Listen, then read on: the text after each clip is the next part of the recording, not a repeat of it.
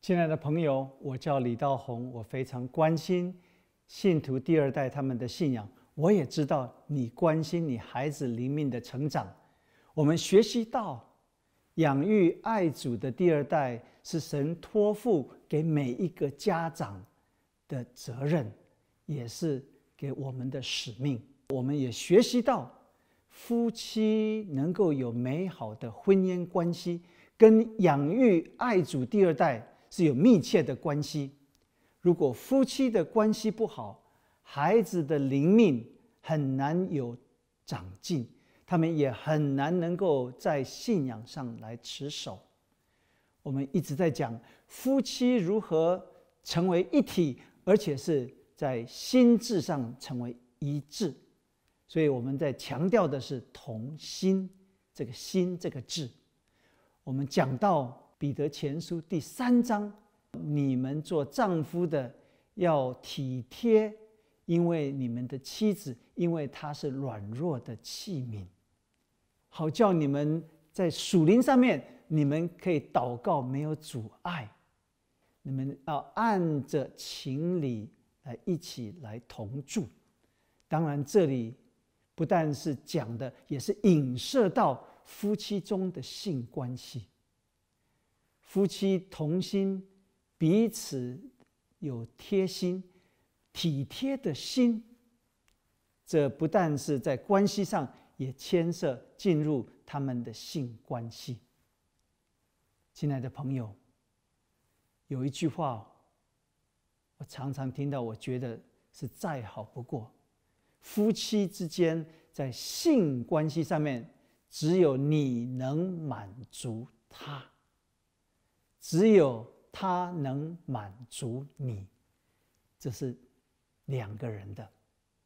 当彼此有体贴的心，夫妻必定能够靠着神的力量、神的爱，我们在性关系上彼此来满足。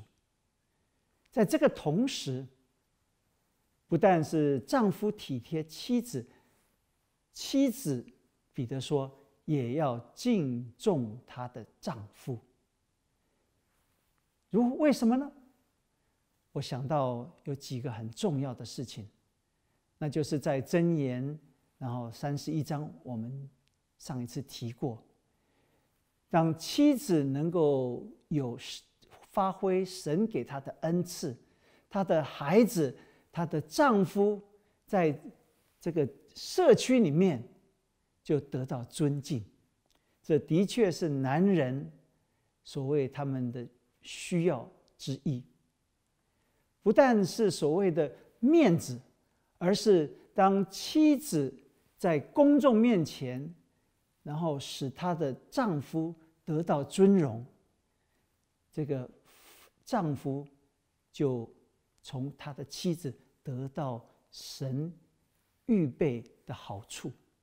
也只有妻子能够给丈夫这样的尊荣。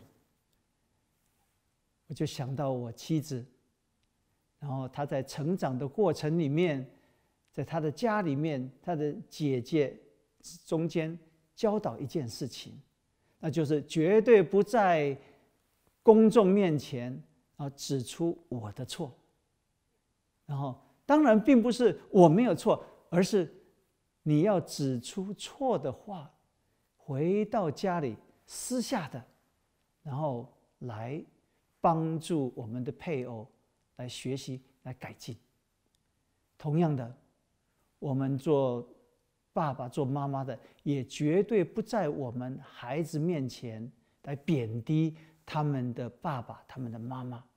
那是不但是他的具有极大的伤害性。